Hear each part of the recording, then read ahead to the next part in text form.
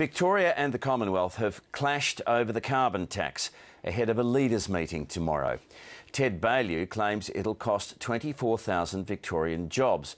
But Julia Gillard says his modelling doesn't factor in the billions of dollars in federal compensation. Speaker, um...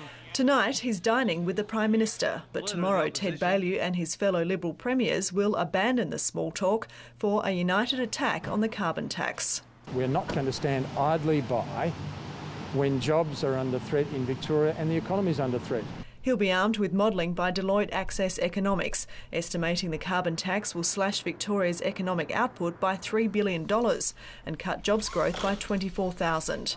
But the Prime Minister says the modelling can't be trusted because it ignores the billions of dollars in compensation in the carbon tax package. This isn't an age for political stunts, this is an age for getting on with the job. The Premier's office has released the conclusions drawn by the modelling, but not the assumptions on which it was based. It'd be interesting to know how much this Deloitte report cost each and every Victorian taxpayer. A dodgy report to be used as a political weapon. We're being told by business leaders across the state and indeed uh, national business leaders that this is going to have a significant impact. Ahead of the COAG confrontation in Canberra, there were fiery scenes in state parliament at the conclusion of lower house question time. Tempers flared when Minister Michael O'Brien raised union links to a pro Palestinian group that's been targeting Israeli owned businesses.